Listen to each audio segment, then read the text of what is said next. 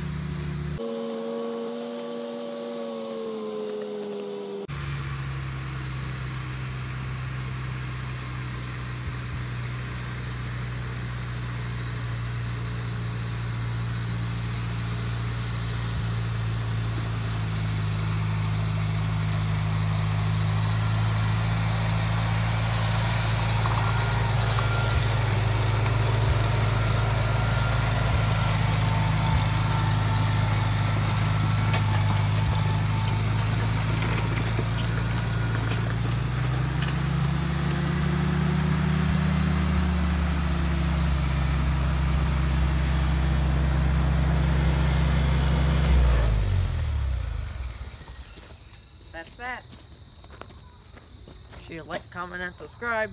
Saginaw Farms. Cub did a great job. I think I still need to do a few things on the carburetor.